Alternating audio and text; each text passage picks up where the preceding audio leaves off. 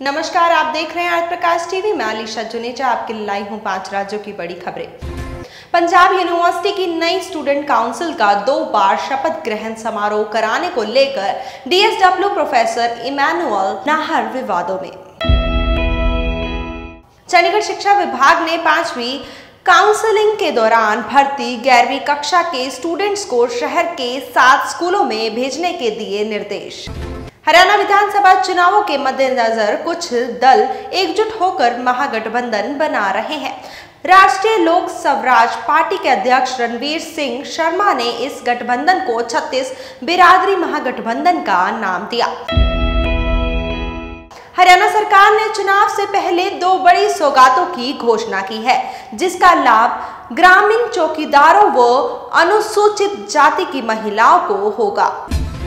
Kartarpur corridor के काम का जायजा लेने और डेरा बाबा नानक डेवलपमेंट अथॉरिटी के साथ बैठक के बाद वीरवार को मुख्यमंत्री कैप्टन अमरिंदर सिंह डेरा बाबा नानक पहुँचे थे।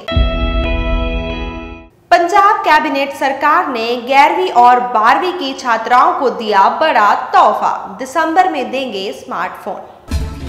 हमीरपुर से सांसद एवं केंद्रीय वित्त राज्य मंत्री अनुराग ठाकुर बीसीसीआई की एनुअल जर्नल मीटिंग में हिमाचल प्रदेश क्रिकेट एसोसिएशन का प्रतिनिधित्व नहीं कर सकेंगे। सीबीआई ने राज्य उच्च शिक्षा निर्देशालय शिमला में छात्रवृत्ति घोटाले की अवधि के दौरान नियुक्त रहे चार निर्देशकों, पाँच संयुक्त निर्देशकों समेत डेढ़ दर्जन अफसरों पर शिकंजा कसने की तैयारी। स्पा सेंटरों में सेक्स रैकेट मामले में अब दिल्ली महिला आयोग ने कंपनी जस्ट डायल को घेरे में लिया है। आयोग की अध्यक्ष स्वाति मालीवाल ने कंपनी को नोटिस जारी किया। दिल्ली पुलिस के दामन को उसके ही एक सिपाही ने दागदार कर दिया।